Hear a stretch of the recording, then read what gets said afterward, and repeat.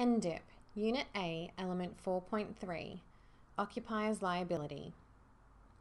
You would imagine that persons in charge of premises should have some responsibility to make sure that visitors are safe when using their premises, and you'd be right. The common sense principle was established in common law through decisions made over the years by judges, but it's also clarified in statute law in an Act of Parliament, the Occupiers Liability Act 1957.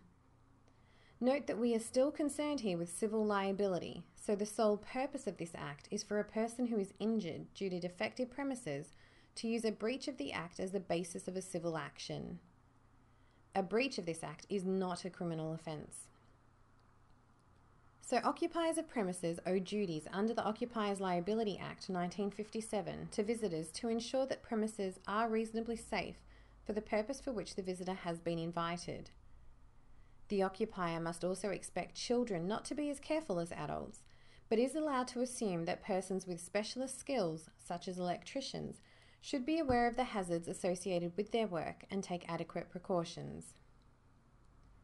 Now, this legislation deals with persons who are invited or permitted by the occupier to be there, but is this enough?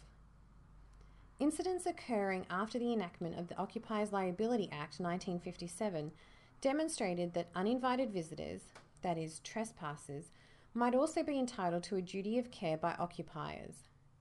In particular, children, who might be attracted, for example, by a poorly fenced building site or a derelict property.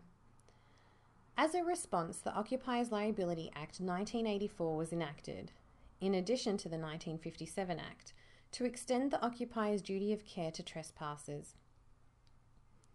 So, to understand the extent of duty of care of occupiers of premises, we need to take heed of common law and be aware of the duties under both Occupiers Liability Acts.